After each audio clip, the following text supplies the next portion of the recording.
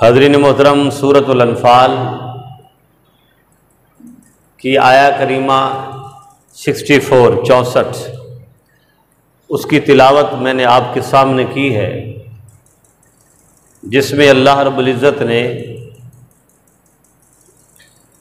जिसमें अल्लाह रब्बुल ने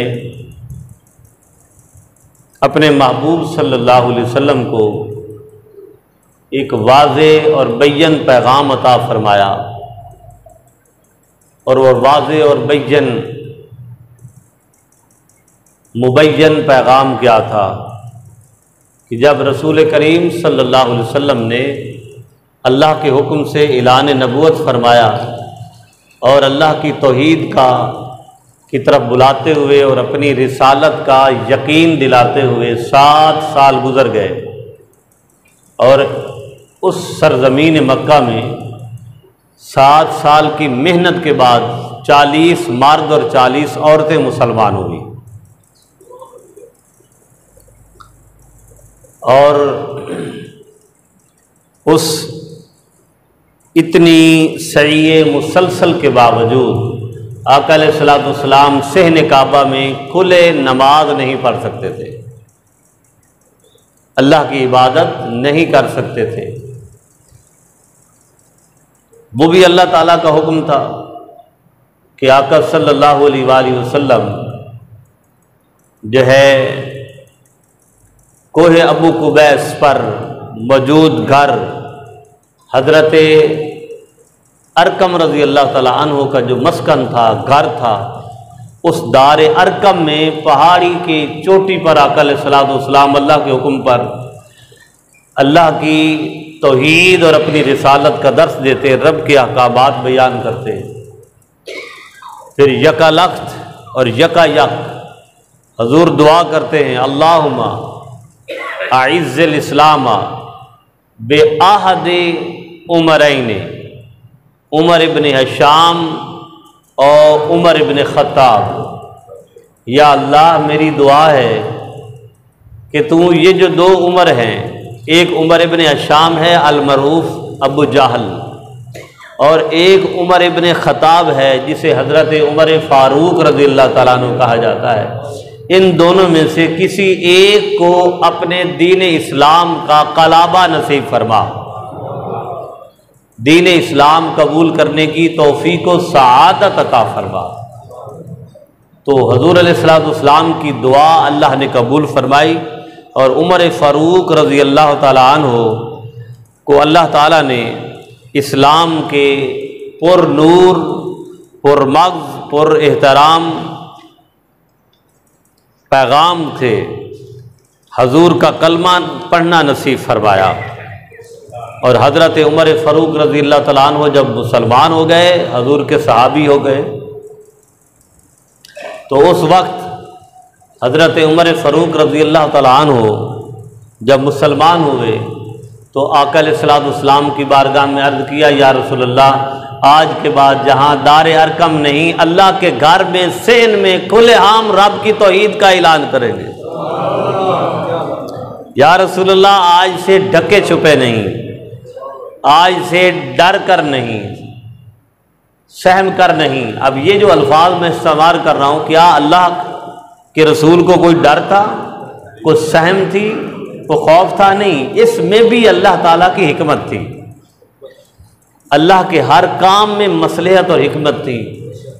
और उस हुक्म इज्दी के मुताबिक हजूर एक एक कदम अपना जो है वो सरजमीन तबलीग पर और सरजमीन मक्का पर रख रहे थे। और ये भी अल्लाह ताला का ही हुक्म था कि हजूर की दुआ का कबूल होना और उमर फ़रूक का मुसलमान होना, ईमान लाना। अब ईमान लाने के वाक़ात आप सुनते रहते हैं, पढ़ते रहते हैं, बड़े खूबसूरत वो वाक़ात हैं।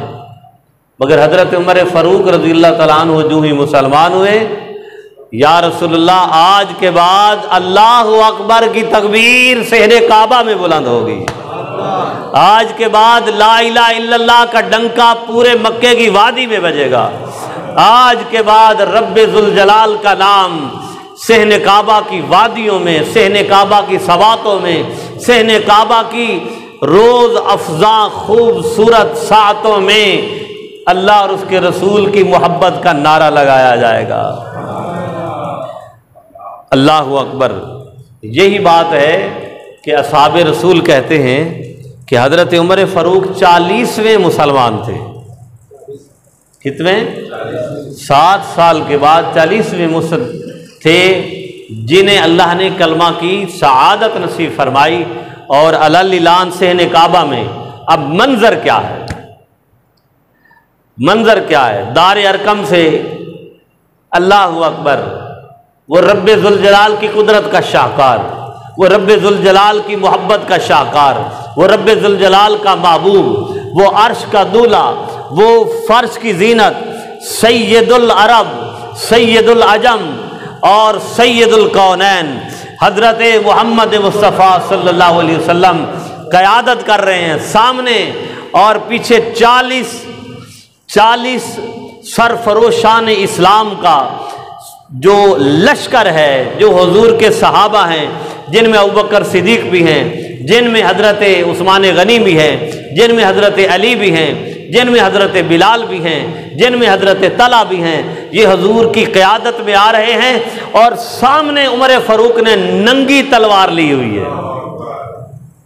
नयाम से बाहर नंगी तलवार ली हुई है और कुर्बान जाएँ मर्रखीन लिखते हैं कि मदी मक्के की गलियों में जब आ रहा है, ये खूबसूरत ये दस्ता आ रहा है, ये लश्कर।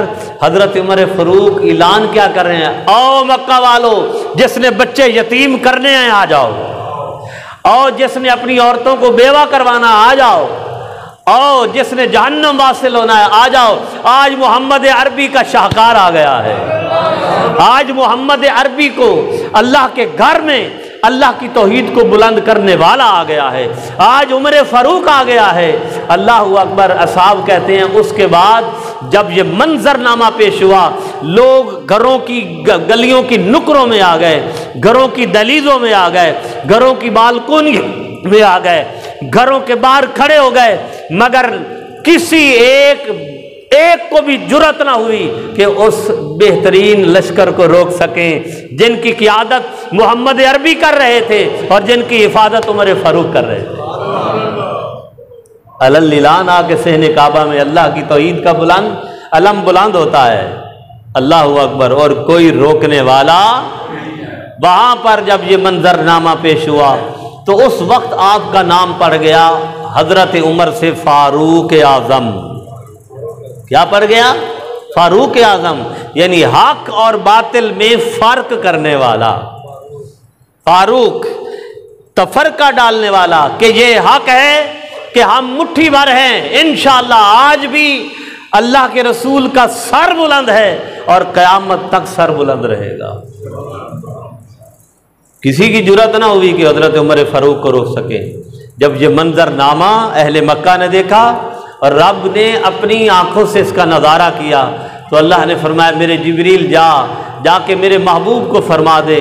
या नबी है मेरे नबी हसब कल्ला आज अल्लाह भी आप पर काफ़ी हो गया।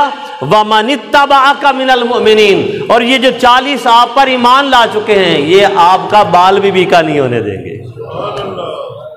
ये आपको गजांद नहीं पहुँचने देंगे। ये आपको तकलीफ़ नहीं पहुँचने देंगे। अब आप ये देखें कि हज़रत उमर फ़रूक का ईमान लाना था। अब देखें इससे पहले हज़रत अमीर हमज़ा मुसलमान चुके हैं हजूर के चचा रज़ी अल्लाह तला और हज़रत अमीर हमज़ा का कुरैश में एक एक अपना कद था, काट था, एक नामवरी थी, शाहकारी थी। अल्लाह अकबर।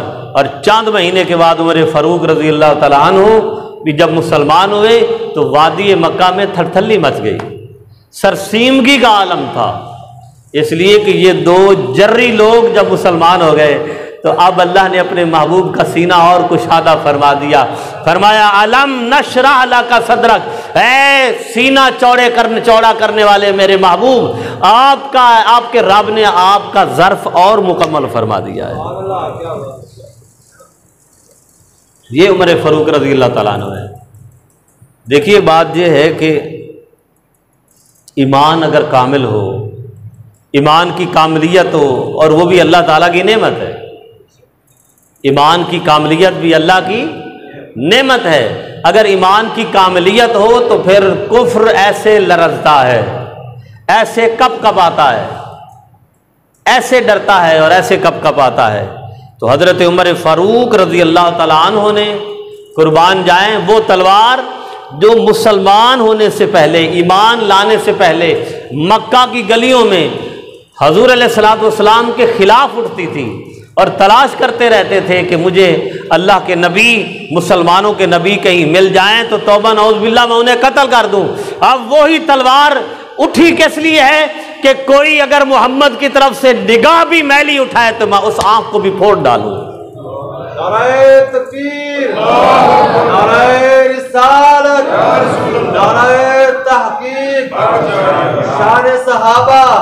जिंदाबाद। कोई रसूल करीम सल्लल्लाहु अलैहि वसल्लम की तरफ़ कोई परगंदा मैली आग भी देखे तो मैं उस हाथ को काट डालूं, मैं उस आँख को फोड़ डालूं, मैं उस जिस्म को कत्ल कर दूँ, जो मेरे मोहम्मद अरबी के खिलाफ नाजेबा अल्फाज कहे। ये है ये है मुहारमत मोहम्मदी की हिफाजत ये है इसमत मुस्तफ़ी सल्लल्लाहु अलैहि वसल्लम की हिफाजत यही सिपाही, यही सिपागरी और यही हजूर की मोहब्बत की जो एक सिपाही होने का अंदाज है, अल्लाह ताला हम सबको नसीब फरमाए। अल्लाह ताला हजूर की नमूस का पहरेदार हम सबको बनाए और हजूर की इज़्ज़त पर पहरा देने की हम सबको तोफ़ी का ता फरमाए। बिरादरा ने मोहतरम, हज़रत उमर फ़ारूक रज़ी तु ने आकल सलाम की सोहबत में अपनी हयात तय्यबा के तेईस साल गुजारे हैं। और हजूर सलाम की सोहबत में हज़रत उमर फ़ारूक रज़ी तु ने कितने गजबात यानी गजवा बदर में शिरकत गजवा उहद में शिरकत गजवा खंदक गजवा अजाब में शिरकत गजवा खैबर में शिरकत गजवा तबूक में शिरकत। हर गजवा में हजूर सलाम के शाना बशाना उमर फ़रूक रज़ी रहे।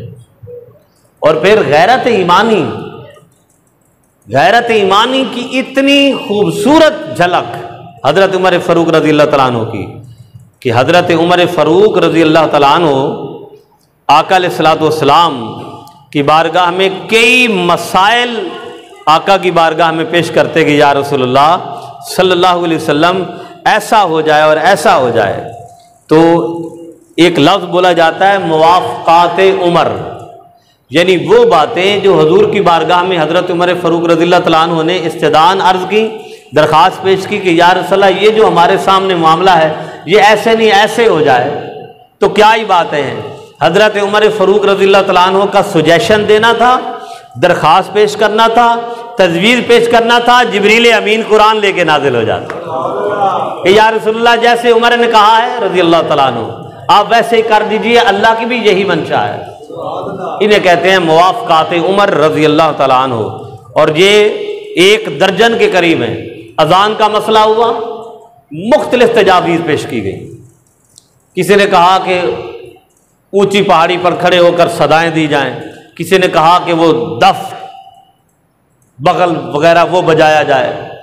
किसी ने कहा कि मदीना मदीना के चारों कोनों में चार बंदे खड़े कर दिया मुख्तलिफ़ तजावीज़।